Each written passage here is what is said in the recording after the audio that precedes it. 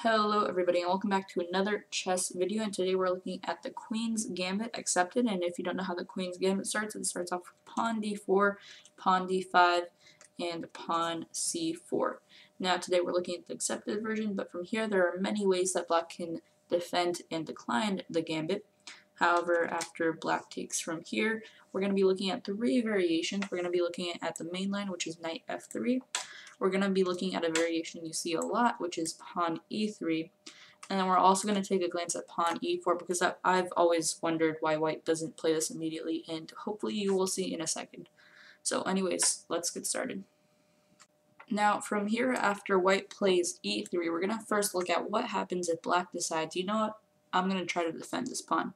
So there's a few ways to do this, obviously. Now, there's the bishop e6 version, which I personally do not, I, I don't suggest defending the pawn at all, as you will see in a second, but this is definitely not a good way to play, because after the knight comes to f3, the knight will then have threats of coming over to g5 and attacking the bishop. Meanwhile, the bishop is blocking the e7 pawn, which is very vital for this bishop and then the queen to come out.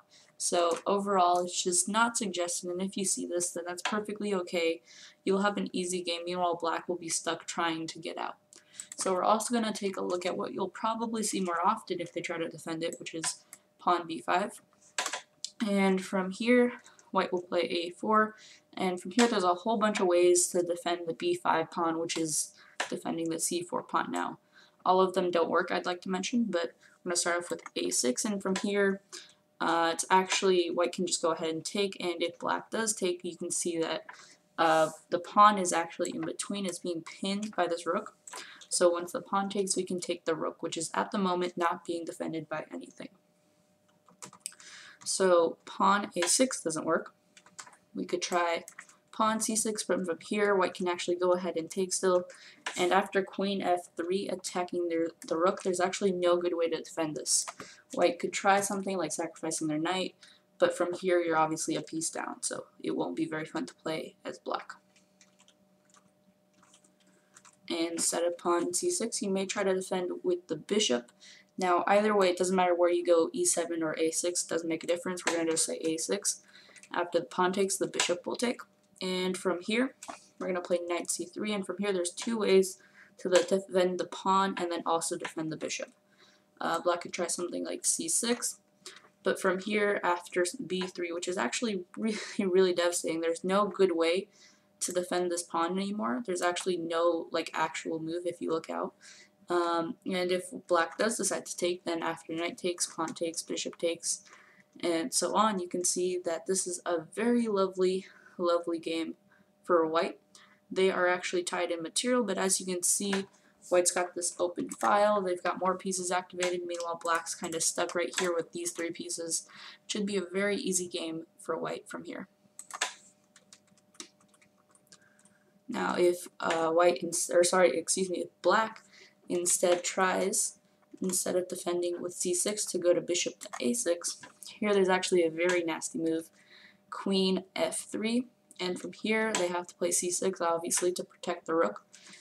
Uh, white can go ahead and take the bishop, and if the knight takes, then you can see that once the pawn, uh, queen takes the pawn, they have to defend with the queen. You can take the rook now, they have to defend with the queen again, and as you can see, you are officially up in material by a lot, so definitely not a good way to play as black.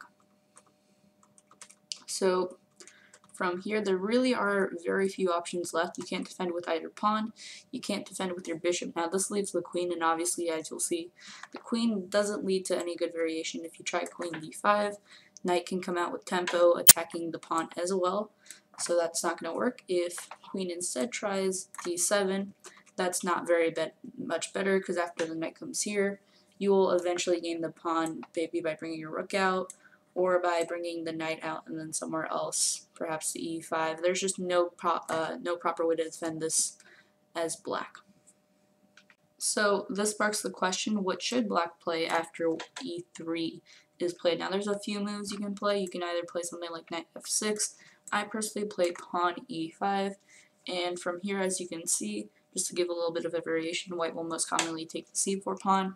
And after black takes a little bit of trade, and both knights come out, bishop can come out. It's a very drawish position from here, as you can see. Uh, both sides are pretty equal.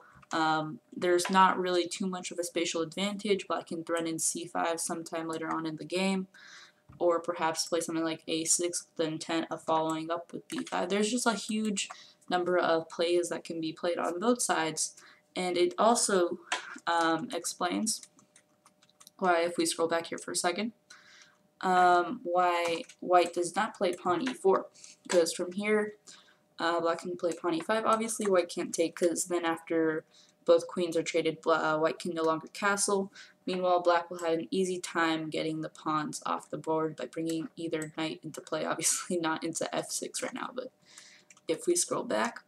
Um, so instead, you may see something like knight f3.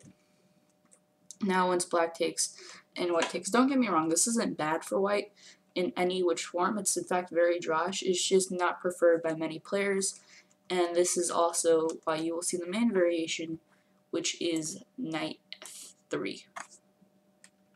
Now, after knight f3 is played, you'll most commonly see something like knight f6. Now, white will play e3 with the intent of taking the pawn on c4. From here, black will continue with pawn e6, and after bishop takes, uh, black will play c5, trying to get white back at white after they previously played pawn c4 in the opening. Now, from here, white will generally not take, because if you take, once again, you'll lose the ability to castle once both queens are traded. So instead, white may castle from here, and from here I've seen two things. Most commonly, you'll see something with a6 with intent of b5 following, but you may also just see black take from here. And this position, once again, it's pretty okay for both sides. There's not too much of a disadvantage. White does have a little bit of a spatial advantage. Obviously, this bishop's a little bit blocked by the pawn on e6, but white also has an isolated pawn on the queen file, which could backfire later on near the endgame. So it's pretty drawish for both sides. It can go either way, pretty equal game. And overall, the queen's gambit, this is mainly the reason why people decline. They just don't like the spatial advantage um, white gets. So if you don't like this, then you will play something else. You'll probably decline the queen's gambit, which we will hopefully discuss in the next or the next few weeks. Anyways, I hope you guys had an excellent day. Peace out.